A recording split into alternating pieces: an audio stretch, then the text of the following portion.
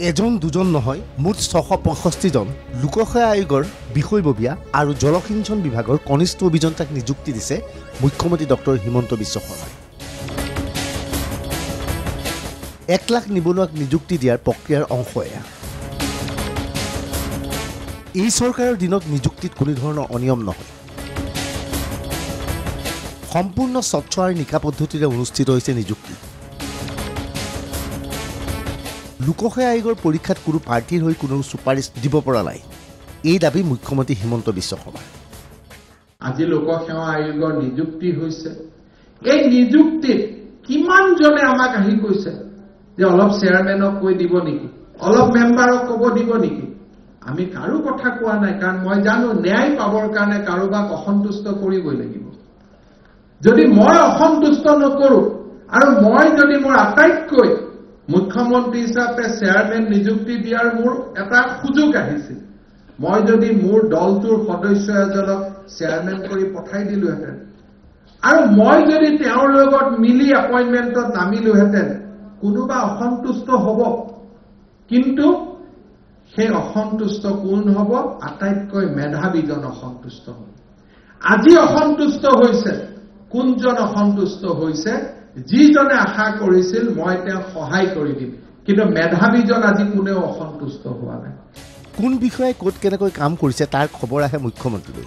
প্ৰতিটো খবৰ মুখ্যমন্ত্ৰীলৈ আহে ঘনে ঘনে। প্ৰশাসনিক সেৱাৰ প্ৰায়বোৰ বিষয়াই ক'ত কেনেকে কাম কৰে তেওঁলোকে ৰাইজৰ লগত কেনেকে কথা পাতে তেওঁলোকে ৰাইজৰ পৰা কি লয় কি নলয় গোটেই খবৰবিলাক আমাৰ ওচৰত আহে। ৰাজনীতিত থকাৰ কাৰণে হওক বহুত দিনৰ পৰা সমাজৰ লগত জড়িত থকাৰ বাবেই হওক আমি এই খবৰবোৰ প্ৰথম কোনোবাই নগাঁৱত কিবা এটা হাতত লোৱাৰ লগে লগে দহ মিনিট পিছতে মই খবৰ পাওঁ। এই খবৰবিলাকে আমাৰ অন্তৰবিলাক ব্যথিত কৰে। তাৎপৰ্যপূৰ্ণভাৱে নিযুক্তিৰ এই প্ৰক্ৰিয়াৰ দিনটোতেই মুখ্যমন্ত্ৰীয়ে গৃহ বিভাগৰ যুটীয়া সচিব কে কে শৰ্মাক গ্ৰেপ্তাৰ কৰাৰ ঘটনাৰ বিষয়েও উনুকিয়ায়। এটা বছৰত চল্লিছ হাজাৰ শিক্ষিত নিবনুৱা যুৱক যুৱতীক আমাৰ চৰকাৰখনে নিযুক্তি দিব পাৰিছে। আৰু ষাঠি হাজাৰ যুৱক যুৱতীক নিযুক্তিৰ আমি পম খেলিছো কিন্তু আজিৰ দিনটো আমাৰ বাবে দুখৰ দিনো।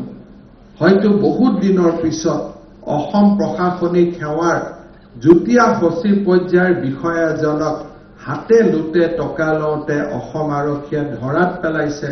আৰু তেওঁৰ ঘৰৰ পৰা পঞ্চাছ লাখ টকা যোৱাকালি জব্দ কৰিছে। ৰাজনৈতিক নেতাৰ ঘৰত এনেকুৱা হলে হয়তো সি এটা বাতৰি হলহেঁতেন। আমি হয়তো বিচাৰিলোহেঁতেন ই সোনকালে শাস্তি পাওঁ কিন্তু যেতিয়া প্ৰশাসনিক বিষয়া এজন তাতে গৃহ বিভাগৰ বিষয়া এজনৰ ঘৰত এনেকুৱা যেতিয়া ঘটনা হয় তেতিয়া যেন কৰবাত আমাৰ মনত এটাই ধাৰণাৰ সৃষ্টি হয়। যে আমাৰ ৰাজ্যখনৰ ভৱিষ্যত কি? পূৰ্বে নিযুক্তিৰ বাবে ধন দিবলগীয়া হৈছিল। এতিয়া চাকৰিৰ বাবে ধন নালাগে। নিযুক্তিৰ বাবে ধন দিবলৈ গৈ দুৰ্নীতিগ্ৰস্ত হৈছিল একাংশ বিষয়া। যদি দেউতা চিডুল ট্ৰাইবৰ ঘৰত জন্ম হৈছে মই মাত্ৰ চিডুল ট্ৰাইব বুলি কোৱাৰ কথাটোৰ বাবে কোনোবা এজন বিষয়াক মই টকা দিয়াটো কিমান দূৰ গ্ৰহণযোগ্য মোৰ মোৰ দেউতাৰ মাটি মোৰ ককাৰ মাটি। মাত্ৰ দেউতাৰ জাগাত তেখেতৰ পিছত মোৰ মোৰ নামটো মোৰ মৃত্যুৰ পিছত সোমোৱাই দিব লাগে। তাৰ কাৰণে মই কিয় টকা দিম? তাৰ কাৰণে টকা দিয়াৰ প্ৰয়োজনীয়তাটো ক'ত আছে?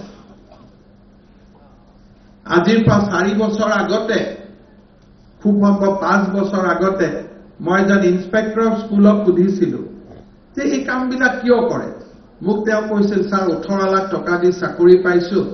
টকাখিনি ধাৰ কৰি দিছো। যিমান সোনকালে পাৰো টকাখিনি উভতাই দিব লাগে। তেনেকুৱা আমাৰ প্ৰশাসন আছিল। আজি তাৰ পৰা অসমে মুক্তি বিচাৰিছে। লোকসেৱা আয়োগৰ পৰীক্ষা নিকা হৈছিল। প্ৰাৰ্থীয়ে ধন্যবাদ জনালে আয়োগ আৰু চৰকাৰক। মই আজি খুবেই সুখী খুবেই আনন্দিত। আজি আমি এপইণ্টমেণ্ট লেটাৰখিনি ল'বলৈ আহিলোঁ।